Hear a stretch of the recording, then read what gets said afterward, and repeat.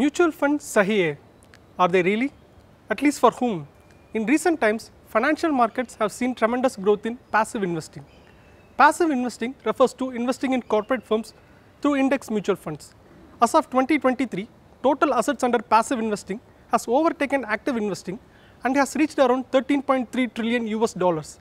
While passive investing is deemed good for investors, it has enormous implications for financial markets and corporate firms.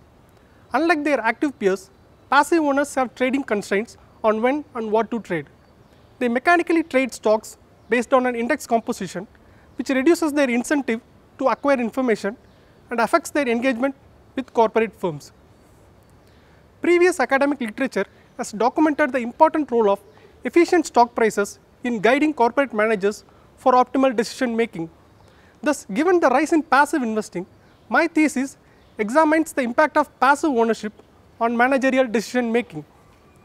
My research shows that passive owners negatively affect managerial learning from stock prices, making corporate investments less sensitive to stock prices. Due to increased passive ownership, stock prices reveal less private information and provide less feedback to managers, leading to lower corporate investments. Also, this weaker managerial learning due to increased passive ownership negatively affects the future operating performance of the firms. My research uses Russell 1000 2000 index switching as an instrumental variable for passive ownership to address endogeneity and establish causality. In my second essay, I examined the impact of passive owners on the choice of payment of stock versus cash during M&A transactions.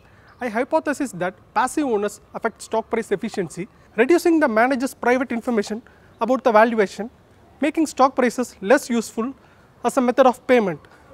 My preliminary analysis shows that firms with a high passive ownership uses less stock and more cash in their payment considerations during M&A transactions.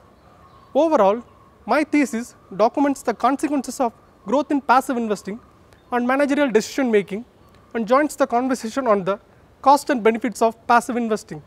My study provides valuable insights for a better understanding of passive investing and such a better understanding is crucial for building sound and efficient financial markets. Thank you.